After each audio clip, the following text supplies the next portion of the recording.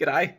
So by far the best cooked or meat even I've, I've ever had. I should have bought bread rolls or wrap bread because I've got onions and other stuff here. It's just so good. This is, I can't believe, oh, I can believe I made it, but wow.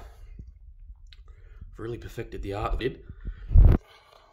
So you can see that it's cooked, but it still retains a hint of that redness.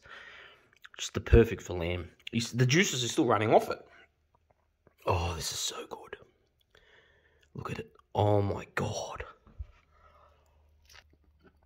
Oh my god.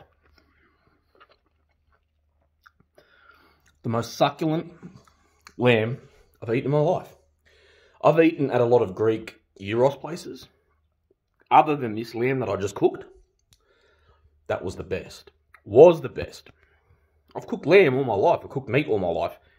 And I never cooked it as well as the gyros place. But this, this is worthy of putting a crown on. I can't. Again, it's got all the perfect herbs. What I didn't do was use olive oil. Usually you would coat it with olive oil and then put it in the oven. But I said, you know what? It's got enough olive oil from the sticking of the herbs, and it's got enough juices inside it to cook itself and fats. I'm just going to let it simmer in itself and have that full with the herbs, which really has a coating of olive oil. Oh my God, how right I was. It's just, this is so bad because I don't have bread. Um, I feel guilty it would have been the best meal of my life by far because I've got onions there, I've got other herbs and stuff. I could have made a really nice roll, especially if I had tzatziki. Oh my god. This is by far the best lamb I've ever had. Just so it's crisp on the outside, just enough crispness. Fuck, it's crispy. You can't even fucking hear it.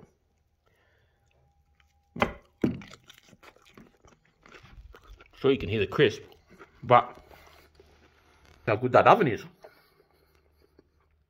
as well as the perfect timing. Perfectly timed. Unbelievable.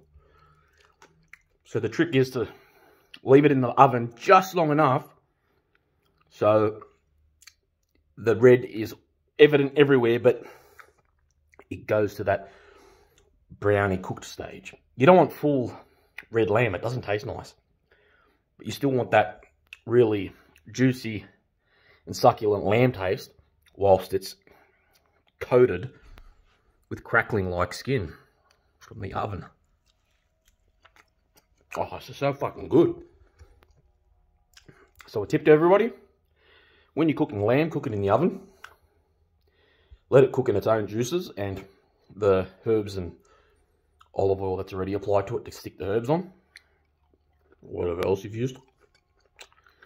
And just cook it till you get that colour. Look at it.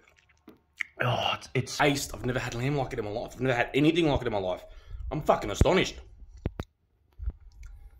So these are my chefing skills shining through. Finally. Fuck. There's all my fucking food on the floor. There's just there's my dish just hanging on the clothes drawer. This is how I roll. It's full survival, urban survival style. See, this is why I don't have a housewife or a wife.